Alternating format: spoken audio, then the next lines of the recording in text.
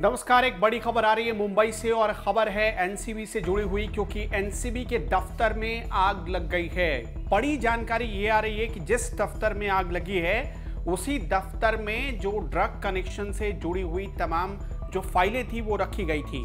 और अगर इन फाइलों को नुकसान पहुँचता है तो आप समझ लीजिए कि इस जाँच में इसका सीधा असर देखा जाएगा। आपको जानकारी दे दे, इस वक्त क्या अपडेट है वहाँ से? एनसीबी के जिस दफ्तर में, जिस कमरे में आग लगी है, उसी कमरे में, ठीक उसी कमरे में रखा हुआ, रखी गई थी वो सारी फाइलें, जो कि रिया चक्रवर्ती और पूरे ड्रग कार्टेल ड्रग एंगल के मामले से जुड़ी हुई थी।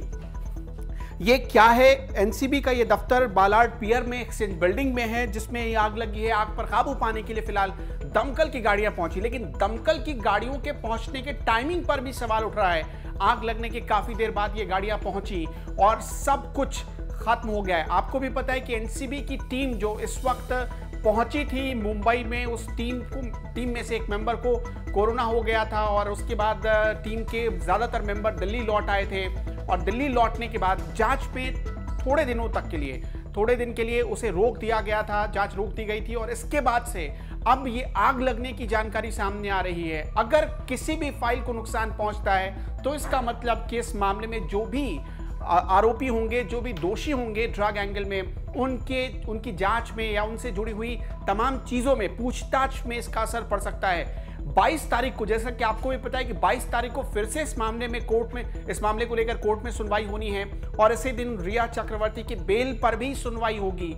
तो क्या इन फाइलों के नुकसान की वजह से, जो इसमें आरोपी हैं, दोषी हैं वो छूट जाएँगे, वो बच जाएँगे। लोग तमाम तरह की आशंकाएँ लगा रहे हैं। आशंका तो इसलिए भी है क्योंकि पूरे मामले में हमने देखा कि एक दिन पहले ही एनसीबी के चीफ राकेश थाना का एक बयान आया था। राकेश अस्थाना ने अपने बयान में साफ़ तौर पर कहा था कि रिया चक्रवर्ती के मामले को छोटा समझने वाले, इसे छोटा समझने के, इस मामले को छोटा समझने की भूल कर रहे हैं। ये पूरा बहुत बड़ा नैक्सेस हो सकता है और इंटरनेशनल ड्रग कार्टिल हो सकता है रिया चक्रवर्ती के मामले की जानकारी या रिया चक्रवर्ती का जो एंगल है ड्रग एंगल है, वो भारत से बाहर का भी हो सकता है।